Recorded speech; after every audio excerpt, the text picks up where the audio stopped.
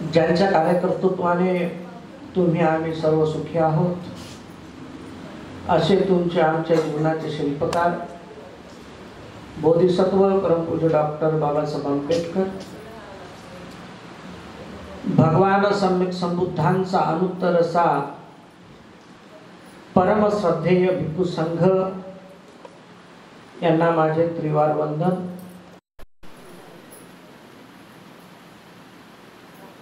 आज संघमित्रा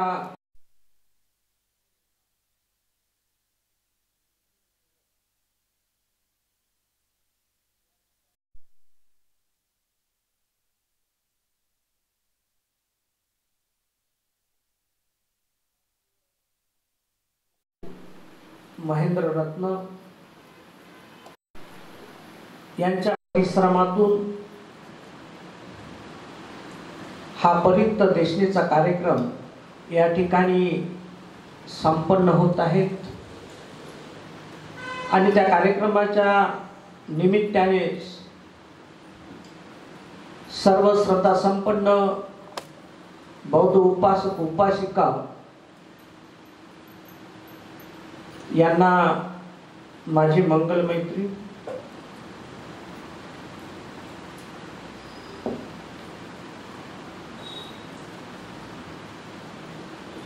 अनेक ठिकाणी वर्षवास समापन सोहळ्याच्या निमित्ताने परित देशना होत असतात. आणि नागपूर नगरीमध्ये त्याची सुरुवात झालेली आहे.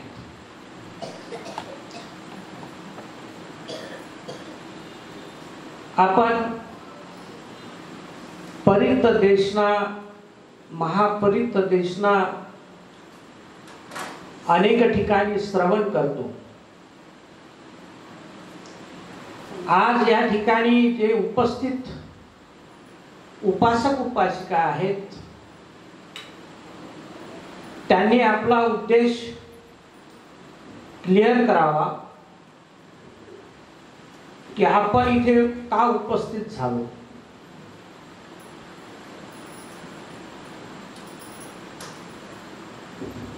आपण इथे मनोरंजनासाठी उपस्थित झालो का? नाटक तमाशा खेळ इत्यादीसाठी आपण आलोत का? तर नाही. तर आपण धम्माचा आस्वाद घेण्यासाठी या ठिकाणी आलेलो आहोत. या ठिकाणी धम्म संगायन या ठिकाणी होत आहे. त्यासाठी आपण या ठिकाणी उपस्थित झालेलो आहोत. आणि तेही होशपूर्वक बेहोशीपूर्वक नाही.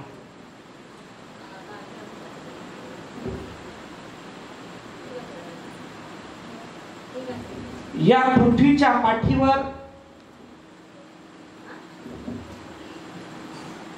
सर्वात अधिक तुमच्या आमच्याकडून. या जगातील या विश्वातील अनेक विद्वानांकडून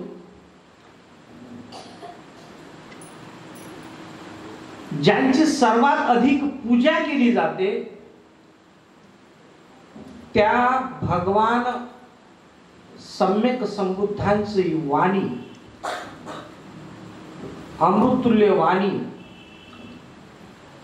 ऐकण्यासाठी आपण या ठिकाणी एकत्रित झालेलो आहोत.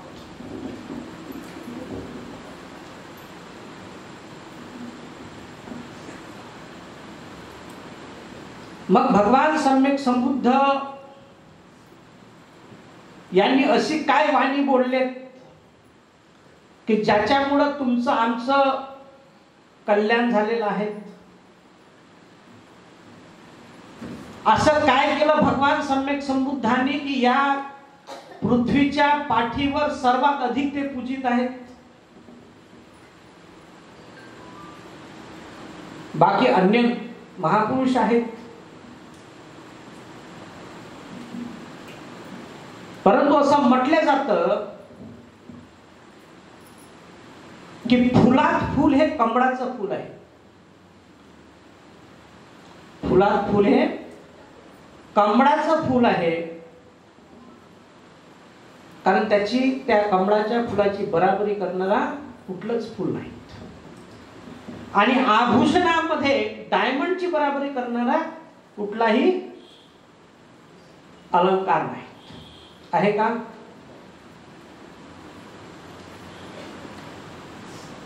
आणि या पृथ्वीच्या पाठीवर अनेक प्राणी आहेत.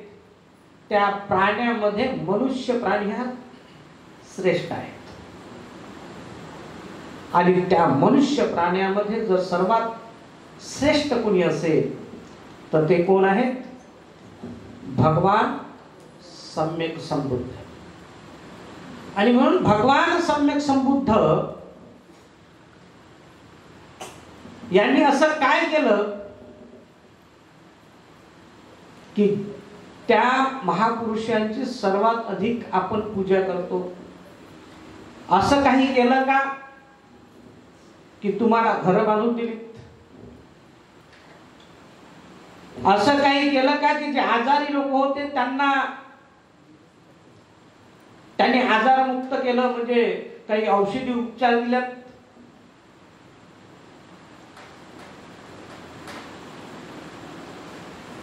कोणाच्या घरी धान्य पोहोचून दिलं? राशन पोहोचून दिलं? यापैकी काही केलं का भगवंतांनी? बिलकुल नाही. मग काय केलं भगवंतांनी? तर भगवान सम्यक संबुद्ध फक्त पंचेचाळीस वर्ष बोलत राहिलेत. परंतु त्या बोलण्यामुळं ती वाणी भगवान सम्यक संबुद्धांची वाणी एवढी महान होती की त्या वाणीमुळं त्या काळचे लोक तत्कालीन लोक प्रचंड श्रीमंत असणारे लोक राजा बिंबिसार राजा अजाशत्रू राजा प्रसेनजीत मिगारमाता विशाखा कितीतरी लोक जे सुख त्यांना करोडो रुपये देऊन जे सुख त्यांना खरेदी करता आलं नाही ते सुख फक्त आणि फक्त भगवान सम्यक संबुद्धांच्या त्या वाणीमुळे त्यांना सुख प्राप्त झालं. आणि म्हणून ती वाणी त्या काळच्या भिक्षूंनी आणि भगवान सम्यक संबुद्ध गेल्यानंतर देखील ती वाणी त्यांनी जशीच्या तशी जतन केली.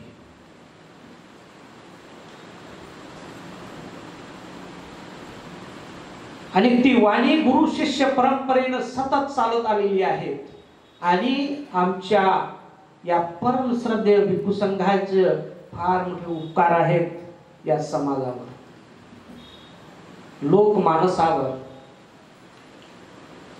की यांनी आमच्या पूर्वजांनी म्हणजे भिक्खूंचा जो पूर्वज आहेत भिक्खू संघ जो आहे त्यांचे फार उपकार आहेत आमच्यावर की त्यांनी बुद्धांची वाणी जतन करून ठेवली आहे. आणि म्हणून त्याचं संगायन आपण या ठिकाणी करतो आहे. कारण ती वाणी एवढी महत्त्वपूर्ण होती. की मी आपल्याला सांगितलं की करोड रुपये खर्च करून देखील जे सुख त्यांना मिळत नव्हतं ते सुख फक्त बुद्धांच्या वाणीमुळे मिळालं.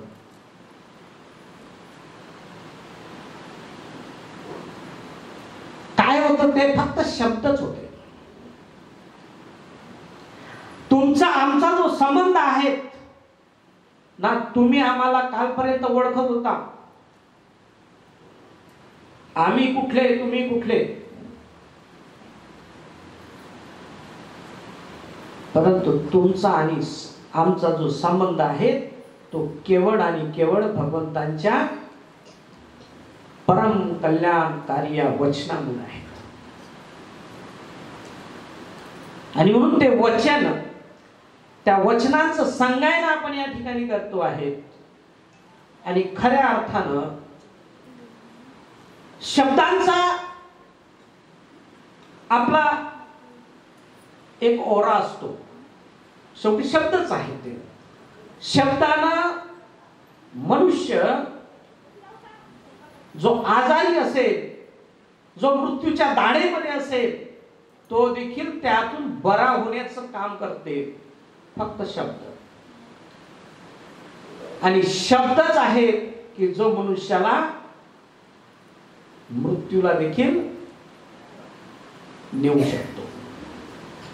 तुम्ही आम्ही बघितलं असेल अनेकांची उदाहरणं आहेत. काय शब्द आहेत? त्याची वैज्ञानिक दृष्टी काय त्याची सत्यता काय आहे? हे जर आपण त्याची पडताळणी केली तर फक्त शब्द हा आपल्याला किती महत्त्वपूर्ण आहे हे आपल्याला लक्षात येईल. काय शब्द? आपण एक मनुष्य आपल्या घरामध्ये टीव्ही पाहत बसलेला आहे. आणि टीव्ही पाहत असताना एक त्याचा परिचित व्यक्ती येतो दरवाजा ठोठावतो. दरवाजा ठोठावल्यानंतर हा दरवाजा खोलतो. त्यानं त्याला हातानं मारलं नाही. त्यानं त्याला स्पर्श केला नाही. काठीनं मारलं नाही. फक्त तो त्याला शिवी देतो. काय देतो? शिवी देतो आणि शिवी दिल्यानंतर तो तिथून निघून जातो. आणि निघून गेल्यानंतर त्याला तीन घंट्यानंतर हृदयविकाराचा झटका येतो आणि तो मृत्यूच्या दाढेमध्ये जातो. काय केलं होतं त्याला?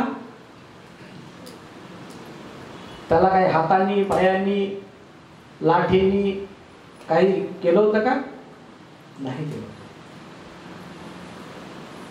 पण तेच बुद्धांचे वचन अनेक आता वर्षवासाच्या काळामध्ये भिक्खू संघ आपल्याला सतत सांगत असतात. आणि त्या वचनामुळं अनेकांचं कल्याण झालं. पण वचन हे त्यांच्या अंतरंगामध्ये उतरलं पाहिजे. तरच त्याचा लाभ तुम्हाला होईल.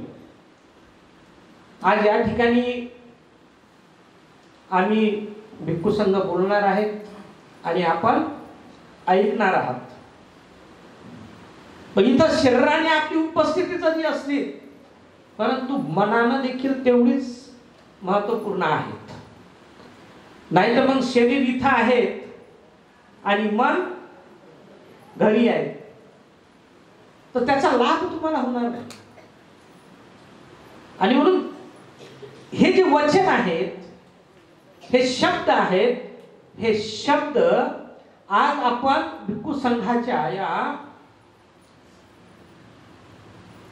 द्वारा आपण बुद्धांचं वचन ऐकत आहात. श्रवण कर करणार आहात. तेव्हा मी अधिक काही बोल बोलणार नाही. मी फक्त परित्राणाचं काय महत्त्व आहे? हे थोडस या ठिकाणी मला विशद करायचं होतं. म्हणते धमानंद यांनी त्यापूर्वी ते त्यांनी सांगितलेलं आहे मी आपला अधिक वेळ न घेता मी परमश्रद्धे भिक्खू संघाला विनंती करतो की त्यांनी आजच्या या महापवित्र महापवित्रान देशनेला सुरुवात करावी. आपण इथं उपस्थित आहात. आपणा सर्वांचं मी मांगल्य चिंतितो. सर्वांना आयु आरोग्य संपत्तीची प्राप्ती हो. आयुवर्ण सुख बलाची प्राप्ती हो. भवतु सप्पमंगलम भवतु सप्पमंगलम भवतु सप्पमंगलम